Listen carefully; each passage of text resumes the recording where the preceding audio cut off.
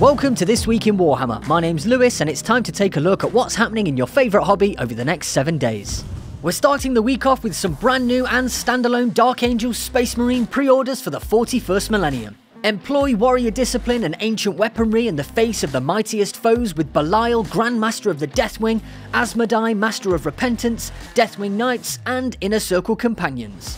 Plus, customize your Space Marines and induct a Terminator squad into the Deathwing with the new Dark Angels upgrades and transfers set. Want to know how your Dark Angels deliver death on the battlefield? Pick up the Codex Supplement Dark Angels, also available in a beautifully presented collector's edition.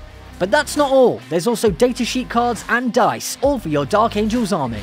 Some reinforcements arrive on pre-order for the Legiones Astartes this week. Apply careful measures of destruction to strategic targets with the Siegebreaker consul in games of Warhammer The Horus Heresy. The Black Library has opened its doors once again. The Imperium's most unlikely hero is back in three classic novels by Sandy Mitchell. Cain's Last Stand, Death or Glory, and Duty Calls will all be available to order on a print-on-demand basis from Saturday. Lazarus Enmity's Edge by Gary Kloster will be available in hardback, ebook, and audiobook. Cypher Lord of the Fallen by John French will be available in paperback. The Purging of Kadillus by Gav Thorpe will be available in audiobook format. And The End Times Doom of the Old World by a number of fantastic Black Library authors are all available to pre order from Saturday. On Warhammer Plus this week, Ed shows you how to glaze ghostly Nighthaunt robes and ethereal skin over on Citadel Colour Masterclass, and on Loremasters, Alex discusses the hellish world of Krieg, the history of its relentless death corps, and just what happened to this once thriving planet.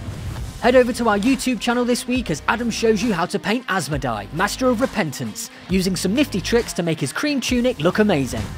Whatever Warhammer hobby you're up to this week, head to the Sunday preview article over on Warhammer Community to find out more about all of the upcoming releases. Make sure to keep up to date with all the latest news by following us on the Warhammer Community website, as well as Facebook, YouTube, Instagram, X, and Twitch. That's all for this week. We'll see you next time.